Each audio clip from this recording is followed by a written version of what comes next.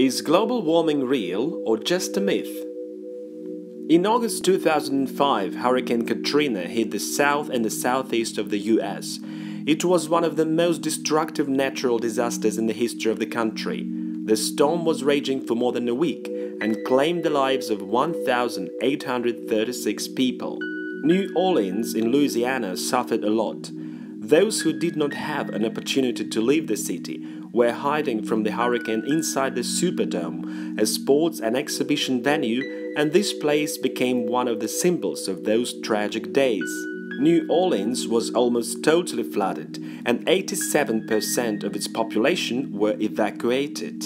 People all over the world are observing strange things related to weather more floods, more droughts, more hurricanes, and powerful earthquakes.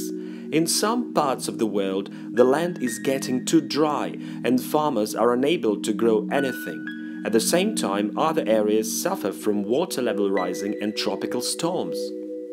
Why is it all happening? A lot of scientists believe that the reason for this is climate change.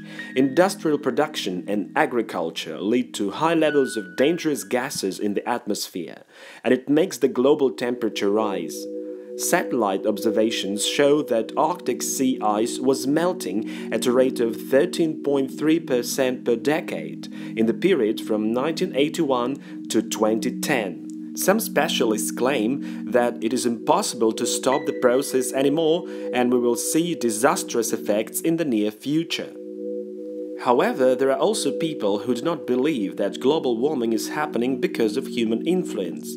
The US President Donald Trump wrote in his Twitter account The concept of global warming was created by and for the Chinese in order to make the US manufacturing non competitive. Anyway, time will show who is right, and it may happen very soon.